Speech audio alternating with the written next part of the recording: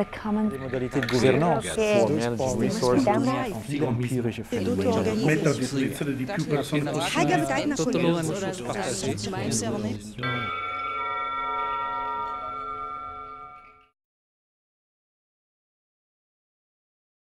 Charlotte Hess, and um, I am a Commons researcher.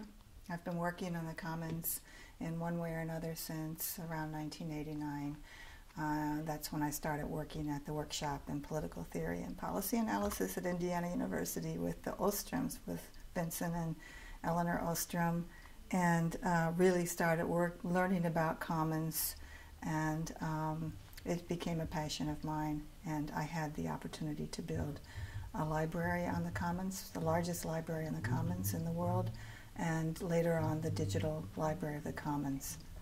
Um, we also created the archives for the International Association for the Study of the Commons.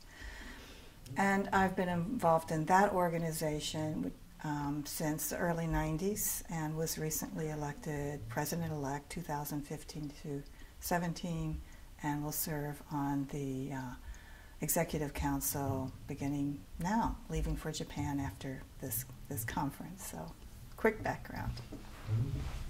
So you, you mainly, uh, that's your first uh, participation this kind of commoning conference. You're more, you're much more um, involved in research association and research networks. So what, what, how do you see this kind of conference and what do you expect as an output of this kind of conference here? Well, I'd like to answer that personally. What what what I can expect and what why I wanted to to come. Um, and first of all, I think that all of these um, initiatives that are happening throughout the, the world are, are, are critical to our understanding of the ongoing evolution of commons. And um, um, one of the things that I've tried to do is survey what's what's happening. Now it's grown beyond any one one person's job to do that. It's it's huge. There's a huge amount going on, but it gives me a better idea of what's happening on the ground uh, in terms of movement. This is not um, uh, uh, unrelated to what's happening um, in IASC. Now, granted, many of these people are doing, you know, dry academic work, but many of them are also working on the ground with practitioners in many resource areas um, and also building movements of one sort or, or another to um, um, essentially to safeguard commons against enclosure, which is becoming uh, an ever increasing threat throughout the world, regardless of the resource and regardless of the geography. Okay. And so uh, le let's go directly now to your your your research and what what what you consider important now. What could be your contribution in this kind of conference?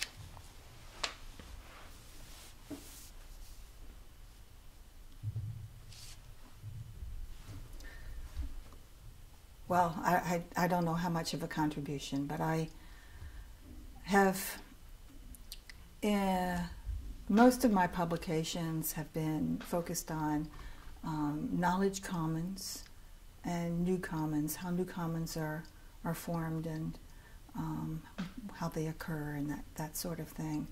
But in the past um, five months, I've been on research leave and I've spent most of that time reading in the area of global commons and have been really shocked to um, to learn how rare it is for global commons of any sort, climate, uh, biodiversity, um, water resources, just you name it. Um, be it a global commons, I'm, I'm shocked to find out how rare it is for it to be described, in fact, as a commons. So, what um, that made me realize was that if the public is reading about these problems not as a commons, um, but just as a problem out in the world, then they're left to believe that there's somebody out there that's going to solve it. You know, and that somebody is either going to be some government group or some corporate group, private or, or, or state. And what's left out is the role of the individual, the role of the public, and the role of collective action. And um, so I think that that is, um, I, I, I, see that as an immediate assignment on the part of people in the knowledge commons area. And that is to advance what I would call commons, our commons knowledge, our, our knowledge about commons. We need to advance that as a commons itself. And with a mission that more and more people need to hear and understand their role as a commoner. Any type of commons, fisheries, forests, irrigation systems, riparian systems, doesn't matter. All of them have to do with shared understandings and um, with people coming and communicating with each other and making decisions and rules the best ones they can using their shared knowledge in order to manage and to sustain this resource. All, all commons are about that.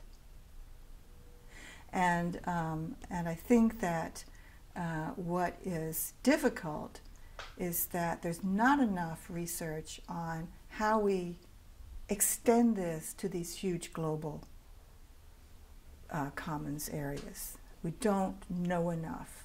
We don't have enough information to go by.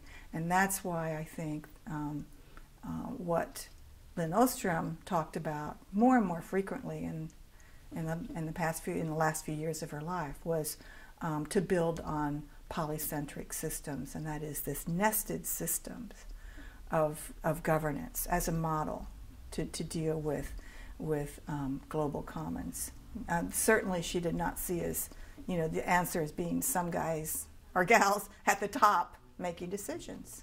It, that, that, because that is completely contradicts all her finding, findings of that there are no panaceas. There's no one right answer. So you have to have nested systems in order to have adaptation to local variances, local cultures, and local needs and local issues. How do you see that the research could be oriented uh, in order to respond to what you, what you're saying now? Um, well, I have a, you know, first, I'm just beginning to think about this, and I already have a lot of ideas, and I hope I'll have a lot more. I mean, one thing is that we desperately need in the area of all types of new commons and evolving commons is that we need case studies. We need to understand if they work, how are they working, so that so that so that others can learn from them, and so also we can can um, analyze them and begin to discern design principles in the same way that Lin Ostrom was able to do when she when she studied uh, robust um, small natural resource commons.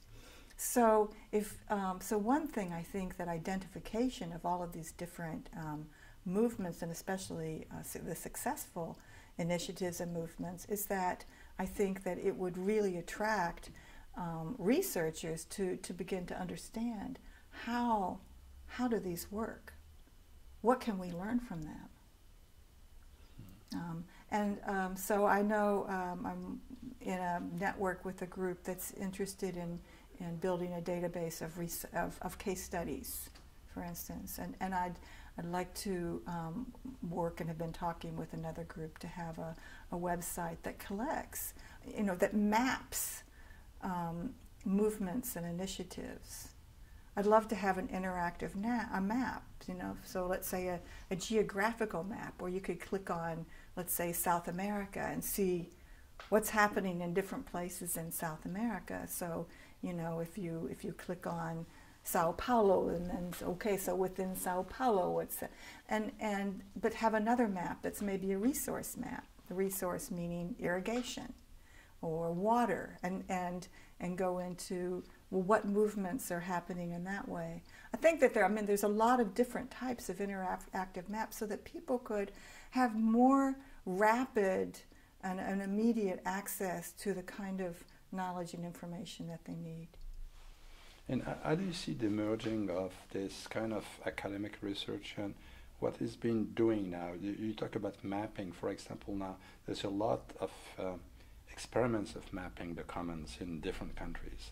The most ex- important one lately in Barcelona, they did this famous WikiSprint. Uh, you know, in one day, they mapped all the commons in Latin America, this kind of thing. Um, I, I see the merging of this academic research with all these initiatives Yeah. that comes from the crowd, crowdsourced initiative. Yeah, and I, th- and I think that a lot of this would be crowdsourced. Um, well, I think it's merged by juxtaposing and, and providing this information in, in the same platform, in the same, in the same space, and not saying, this is academic, this is activist, and labeling them in that way, as opposed to saying, this is what's useful to know. Right? So if we focus on this is what's useful, this is what you need to know, I think um, we need to approach it that way. And I think that um, this is, um, if there were such a, a website which tries to pull, pu- just identify these other websites and other initiatives and other databases, I think they would need, it would need to be well tended and well managed. There needs to be a lot of proactive work on it. It can't just be set up and then just allowed to, because it's, the demands on it would be great. There would have to be a sustainability package for it. So do you see the evolution of this movement of the commons or international movement or not? Well, I don't think I can say something that's going to radically depart from what I have said because I do believe it is about sharing knowledge. And, and, and already I've heard um, so many, I can't keep up with my own notes. There's so many different um, interesting little tidbits. So just mention, uh, you know, the, the, the group in the Philippines or in Venezuela. Now I need to go and look up these things and write. So in other words, there it already there's this huge assignment to follow up. What I would really hope is that this conference, that that that from from the Heinrich Böll people, is that they would put up, you know, further information with links to every single movement and initiative that's been mentioned. Do you think that the the, the academy itself could could provide some mm, space for this kind of joint initiative? Well, really good question. Here's the thing, um, and I've said this to the academics and to the to a lot of the ISC academics, and that is is that they have a lot to learn from the activists, and they need to to. That's why we need to be in, in better um, communication with them. Academics, unfortunately, their lives are um, distracted by these needs of tenure and these committee meetings and their disciplines. The thing is, is that academics that are in commons, it's a secondary thing for them. So they, they already have, so if they publish in commons, they also have to publish in economics or anthropology or political science or law. So um, they already feel strained. I think, as an information commons person, I think maybe this assignment of collaboration could be helped out by a kind of a website that I'm talking about that draws them together and not says not gives them a further assignment of saying do this. The other thing is is that that I do think that by identifying these movements and making and um, that are on the ground throughout the world, that it would draw in more researchers to to try to to uh, understand the rules, understand the, the communities of users, uh, you know, understand it in a deeper way that might facilitate um, the the activist part of it. So I don't think that we can pass on the assignment to them. I think that that the main thing is let's make let's make this information about these these these factions or these different areas. Let's make it easier to view in, in one sitting, in one fell swoop, and not make it such a uh, um, a tedious process of going to one site and then to another site and that kind of thing. Okay, the last and very short questions is the question I, I asked uh, to everybody since uh, the first conference here. It's just if you had to define the commons in one sentence, what would it be?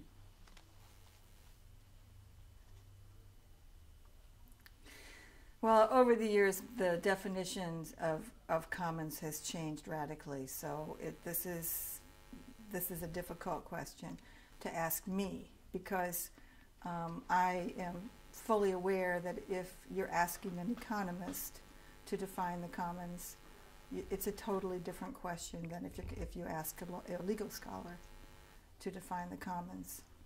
Um, so I have been chewing on the idea of this this idea that there's no commons without commoning. Um, I, uh, Lin Ostrom and I have defined commons as a shared resource subject to um, vulnerability or social dilemmas. Now, if you say that there's no um, resource without commoning, it kind that kind of implies that. I'm caught up with the problem is that I do believe that in the global commons arena, there are in fact commons without where there's no commoning happening. There needs to be commoning happening. There needs to be people involved, but as as yet, I think they're out there waiting for their community to come to them.